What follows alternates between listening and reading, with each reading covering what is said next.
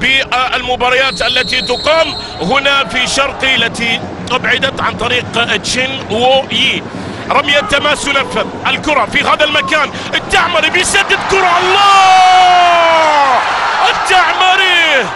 التعمري وعمار يا أردن عمار يا أردن معك يا نشمي معك يا نشمي التسديدة من التعمري. وبعد ذلك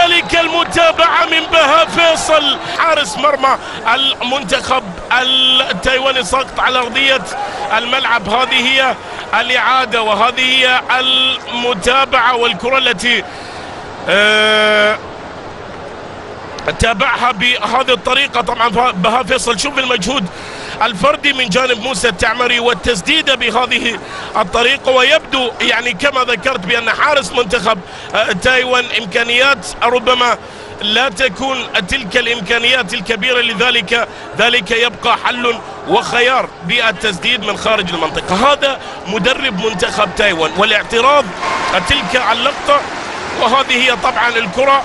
حاول أن يبعد حارس المرمى لكن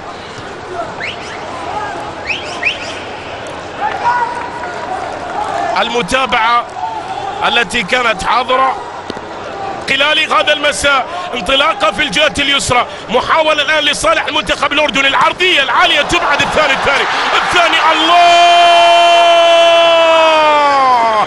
الثاني عن طريق أحمد سمير هذه المرة لا مجال للمفاجآت أمام النشامة احمد سمير يسجل الهدف الثاني لمنتخب الأردن بعيدا عن أي مفاجأة عن أي مباغتة من جانب منتخب تايوان. النشامة بالاثنين في الستة وثلاثين دقيقة الأولى في أحداث شوط المباراة الأول من هذا اللقاء. شوف الانطلاق وشوف التحرك. كان وحيدا كان متمركزا في المكان المثالي وبالتالي وضع قائمة. يريدون تسجيل هدف يريدون تسجيل هدف. لاعبي منتخب تايوان وبالتالي يهاجمون في هذه اللحظات يهاجمون في هذه اللحظات. كرة وتمريرة في الجهة اليمين داخل المنطقة والتسديدة لكن الكرة ينجحون من خلالها أن يسجلون هدف نجح منتخب تايوان أن يسجل هدف في هذا اللقاء. وهدف جميل هدف جميل يسجله وانغ روي. شوف ردة الفعل وشوف الاحتفال الكبير أو وين تشين وين تشين هو اللي ينجح في ان يسجل هذه الكرة وهذه طبعا النقلة التي لم يكن فيها تغطية مثالية من جانب دفاع منتخب النشامة وبالتالي ينجح منتخب تايوان أن يسجل هدف تقليص الفارق. أجل آه الحفاظ على التقدم. انطلاقة عن طريق أحمد عرسان. أحمد عرسان يحاول. أحمد عرسان يسدد. يا الله!